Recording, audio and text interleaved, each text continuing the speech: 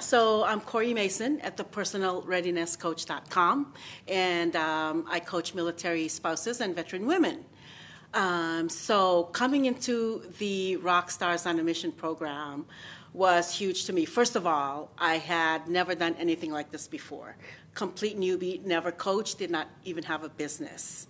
Uh, so when I came in um, the first um, time around as a rock star, um, I learned everything from the bottom up. And the most important thing to me at that point was the inner work because I was a lost soul. And so once, uh, so that was part of it. Another part of it was the business aspect. I did not even think about the business aspect. It was only after halfway through the program where I realized, I looked around and I thought, oh my God, these people have practices. I guess I'm supposed to doing, be doing some kind of business stuff. So I went home after the first retreat. I incorporated, got my tax ID number, and started a business. Um, and then just continued on the inner work. I mean, this program has an amazing way of integrating inner work with the outer work.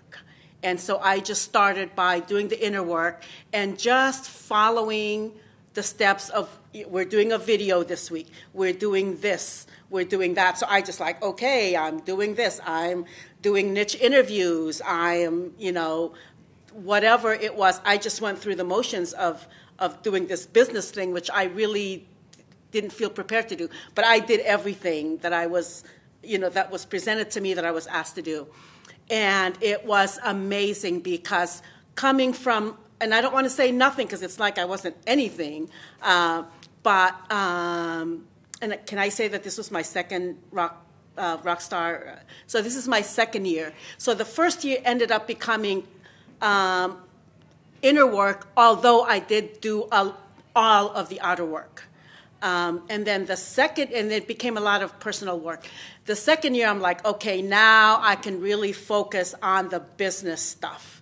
And I was ready to do the business stuff. And so, having done it before, but now I was actually going out in the world. I was out at networking events. I was saying, I'm a coach. I, you know, I do this. I do chakra work. I can, you know, get you to see what really the source of your blocks are. And just by being present, knowing that I was held in a very um, powerful space. So I felt very rooted in the Rockstar program. So I'm here, I'm held, I'm safe. And then from that position, I went out. And it's been a busy year of networking. I was everywhere to the point that everybody started thinking, oh, yeah, she's the coach that does this. And I'm like, I, I have just been showing up at, at things, right? So I've been, um, my huge successes after this uh, event, this Ignite event, I'm going back to Washington, D.C., where I live and, and work. Um, and I've been invited to coach at an Academy Women annual symposium. And these are women that went to the military academies, and they're mentoring the younger uh, military uh, veteran women or military um, service members that are women.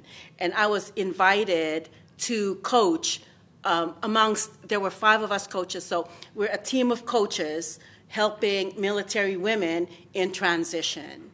And that came about because I, I came to Rockstars on a Mission and I learned amazing techniques and I learned that I have so much to offer.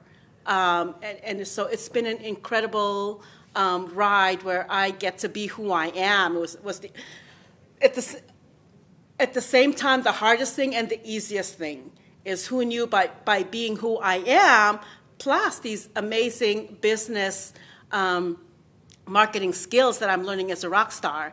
That combination of the softer, intangible skills plus the harder businessy skills has really positioned me in a way that I can most importantly, serve the community I want to serve, which is the military spouses and veteran women. And then, secondly, I get to do and be who I am and you know have a business, um, a viable business by doing that. So.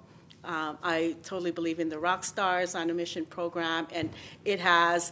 Margaret did say at one point that if not now, when? And when I first went in, it was like the most illogical time for me to embark on this undertaking. Looking back now, it's like if I didn't do it then, I don't know where I'd be now, and it'd be struggling at an even harder point. Whereas now I'm in a perfect situ- uh, place to launch.